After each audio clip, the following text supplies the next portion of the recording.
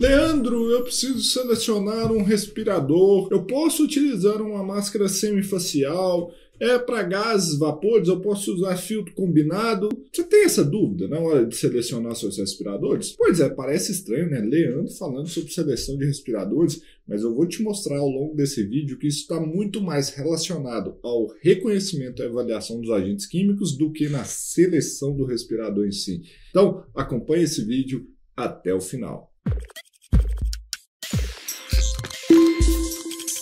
Fala galera, vocês estão respirando bem por aí? Eu sou Leandro Magalhães, higienista ocupacional certificado, especialista em riscos químicos para higiene ocupacional e criador do método H-Alface, um treinamento que vai te deixar 100% preparado e seguro para avaliar e reconhecer riscos químicos na prática com segurança e confiança. Eu também sou diretor executivo da Analytics Brasil, laboratório referência mundial nas análises químicas para higiene ocupacional, em que a nossa missão é ser seu porto seguro na tomada de decisão das avaliações de campo. E hoje, no nosso quadro Analytics Responde, eu vou falar sobre uma dúvida que vira e mexe chega para mim no meu Instagram, né? Aqui, ó, arroba Leandro Magalhães, underline oficial. É perguntas que vira e mexe, fala assim, nossa, Leandro, é, eu tenho aqui um agente químico, eu posso usar uma máscara semifacial, ah, posso usar um filtro P1, ou é um filtro combinado, ou um filtro de carvão ativo, ou etc. E aí você deve estar se respondendo, poxa, o Leandro vai falar de seleção de respiradores, mas ele é especialista em reconhecimento e avaliação de riscos químicos para higiene ocupacional, mas por incrível que pareça, antes de qualquer trabalho de proteção respiratória, meu amigo, não inventa moda, não como diz aqui em Minas Gerais, para você fazer qualquer trabalho de proteção respiratória relacionado a agentes químicos, a primeira coisa que você tem que fazer é reconhecer e avaliar os riscos químicos no ambiente de trabalho. Parece loucura falar isso, mas tem muita gente que não sabe. Por quê? É com base na concentração do agente que vai ter dicas, né? Porque é com base na concentração de, do agente que a gente vai partir nas nossas primeiras análises sobre a seleção do respirador mais indicado. Lógico que a gente tem que levar em conta outras coisas ali também, como o tipo de atividade a ser realizada, a adaptação do, do trabalhador com esse respirador e por isso que a gente tem que implementar um programa de proteção respiratória. Mas fazer programa de proteção respiratória, selecionar respirador, sem que você saiba, primeiro, qual é o risco químico presente naquele ambiente. E depois, qual é a concentração que esse risco químico está naquele ambiente, esquece. É tiro no escuro. Se você não souber isso claramente, você está fazendo higiene ocupacional da esperança. E EPI já é um problema. EPI já na nossa hierarquia de controle está lá embaixo, é a alternativa menos eficaz. E se você seleciona respiradores com base no chute, aí que eu já te adianto, ó, aí que não funciona mesmo, mesmo, mesmo, mesmo. E por que, que eu estou te falando isso? Quando você faz o reconhecimento de agentes químicos no, no ambiente de trabalho, você utiliza algumas ferramentas do tipo análise preliminar de riscos, inventários de produtos químicos, aí você joga isso dentro de uma matriz de risco, e aí de, você decide se precisa avaliar ou não esses agentes. Isso tudo eu ensino lá dentro do método H-Alface Agentes Químicos, que é o treinamento online, com mais de 60 horas de aulas gravadas para te ajudar a ficar 100% seguro e preparado para avaliar e reconhecer riscos químicos na prática. Então, você faz esse reconhecimento. E aí, agora você já sabe quais são os agentes químicos que estão presentes nesse ambiente. E aí agora você vai começar a olhar a avaliação desses agentes. Por que, que você tem que fazer isso? Por quê? Não vai adiantar nada você recomendar um respirador em que ele não tem, vamos dizer assim, no jargão, no coloquial, ele não tem capacidade para neutralizar o agente na magnitude que você precisa.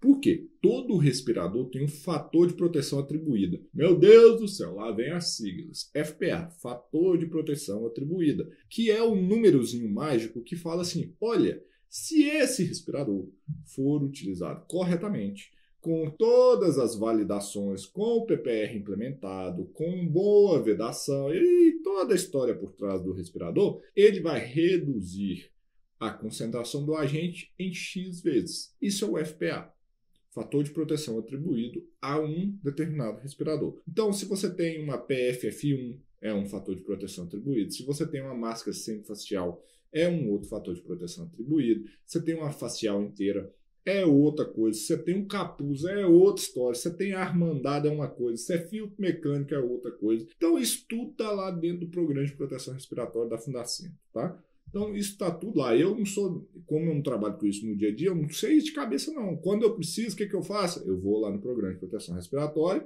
e olho. Mas, não só isso, né? Então, tem o FPA. Então, eu quero saber, e aí, quanto que eu preciso reduzir? Agora tem o FP, o fator de proteção minimamente requerido, FPMR. Que aí é você fazer uma conta simples. É só essa aqui, ó. Fazer o seguinte, ó. É você pegar a concentração da exposição que você mediu, dividir pelo limite de exposição ocupacional. Então você tem lá concentração da exposição, CE, dividido pelo LT. Isso é o FPMR, fator de proteção minimamente requerido. E aí você vai ter que julgar qual que é o fator de proteção minimamente requerido com relação ao fator de proteção atribuído do respirador. Começa assim uma seleção, coisa simples. Mas não só isso. Eu tenho que entender também qual agente, porque cada tipo de agente vai ter um tipo de filtro que é mais indicado. Ah, Leandro, filtro de carvão vai funcionar para alguns vapores orgânicos, para alguns vapores orgânicos. Outros nem sempre.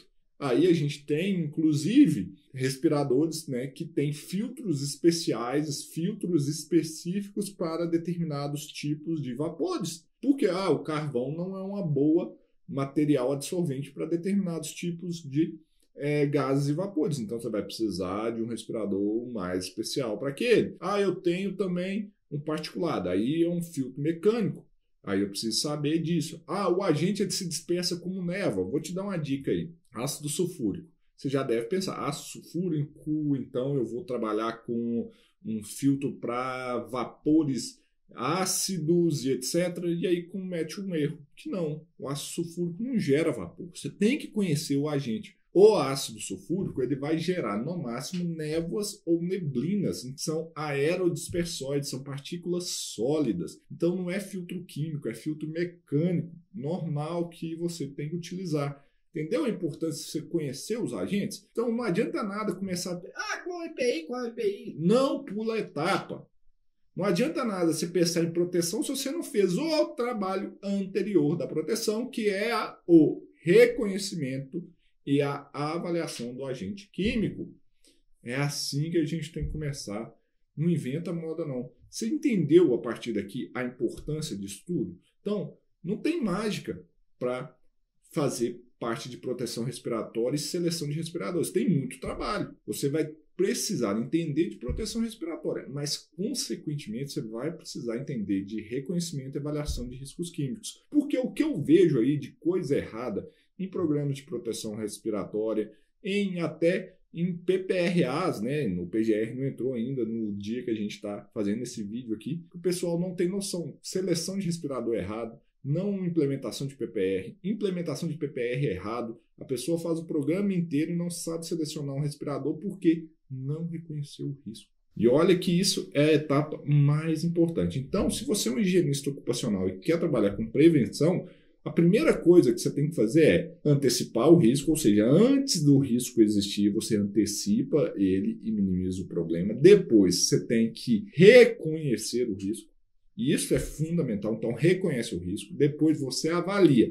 Para aí você controlar a criatura. Não vai controlar uma coisa que você não reconheceu e você não avaliou, não. Ah, eu tenho vapores. E vapores de quê? E qual a concentração desses vapores? Ah, eu tenho poeira. E poeira de quê? E qual a concentração? Vou te dar um exemplo de poeira, você deve... Para além... Ah, vapores eu entendi, porque vai precisar de interação química, muda uma coisa. Não, vou te dar um exemplo simples. Se você tiver um trabalhador que trabalha com poeira de madeira e sílica cristalina, o tipo de respirador é diferente. Você precisa saber. Se você não reconheceu o risco direito, lascou. E não tem dessa. Ah, a gente é uma poeira. Não, é a poeira de quê? Poeira de madeira. Pode ser uma poeira que tem sílica cristalina. Então você tem que botar isso na sua mente para você não cometer esses erros. Ficou claro até aqui? Então, para fazer proteção respiratória, não esqueça do trabalho de higiene ocupacional anterior, que é reconhecer e avaliar o risco para aí você controlar. E o que, que você achou desse conteúdo aqui? Você tinha essas dúvidas que eu falei aqui para você? Deixa aqui na área de comentários para mim, deixa seu like